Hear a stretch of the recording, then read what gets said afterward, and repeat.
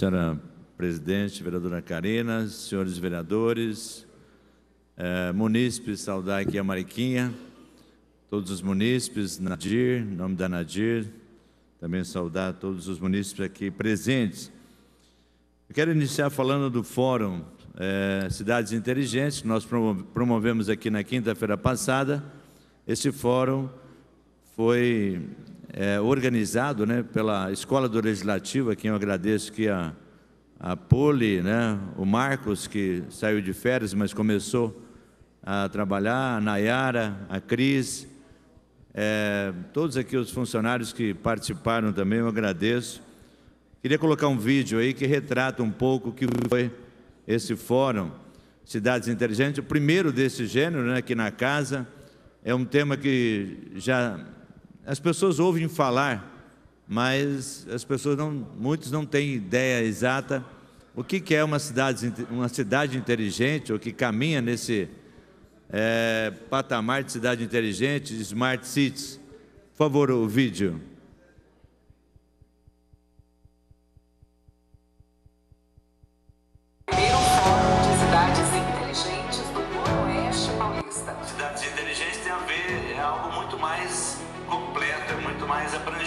Tem a ver com eficiência, tem a ver com sustentabilidade, com resiliência, com uma cidade democrática. É uma cidade justa também para as pessoas.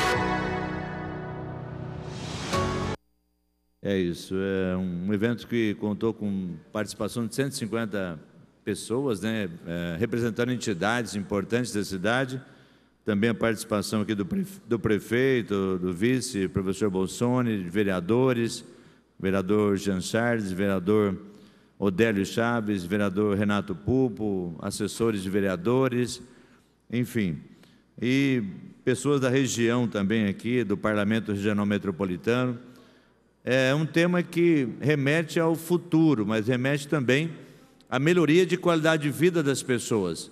À medida que a gente fala em cidade inteligente, fala em sustentabilidade, fala em eficiência, fala é, em democracia, fala em ouvir as pessoas né, para construir projetos, nós estamos falando de cidades inteligentes. É uma questão também de resiliência, não é?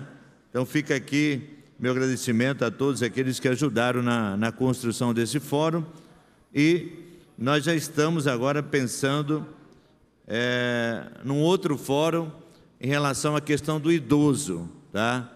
É, nós temos um problema sério em Rio Preto, é, muitos idosos não têm para onde ir.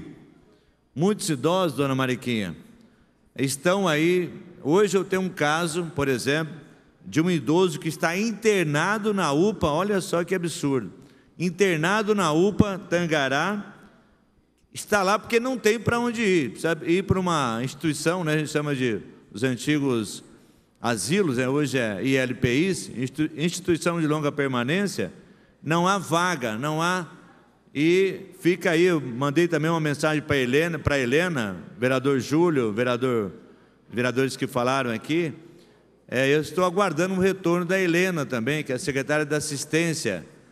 É, essa família, essa senhora que tem, está lá, dona Iracema, ela está aguardando uma vaga. E é um problema enorme de Rio Preto.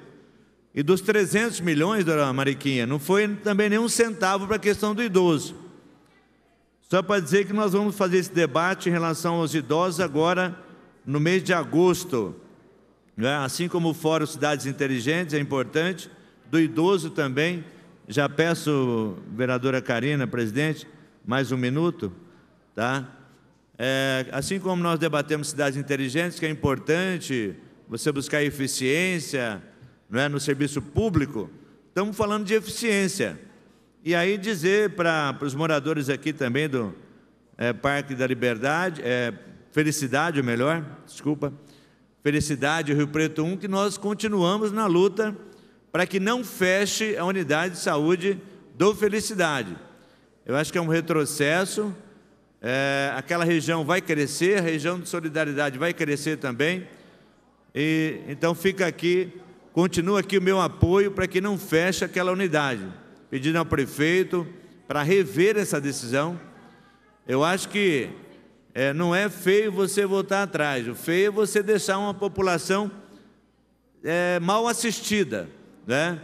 Então fica aqui o meu pedido novamente ao prefeito, não como João Paulo falou, é, depende do prefeito. Então, prefeito, não feche a unidade de saúde do Felicidade, que já está atendendo aquela região e precisa continuar atendendo.